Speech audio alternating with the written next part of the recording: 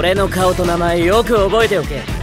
俺は風林高校さくらはるかだ。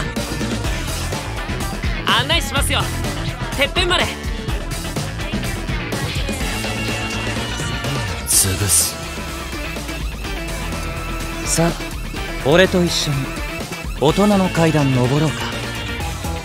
この街でこんなもん振り回すことがどれほどのことか分かってんだろうなさーて今年もいよいよ始まるな。歓迎するぜ1年も。